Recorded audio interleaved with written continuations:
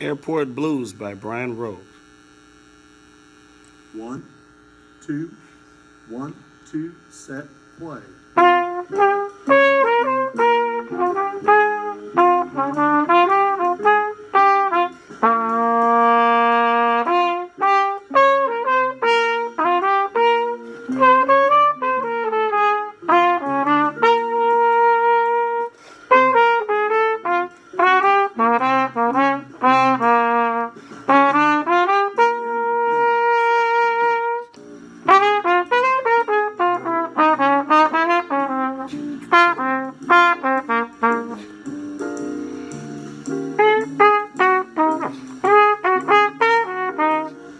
Mm-hmm.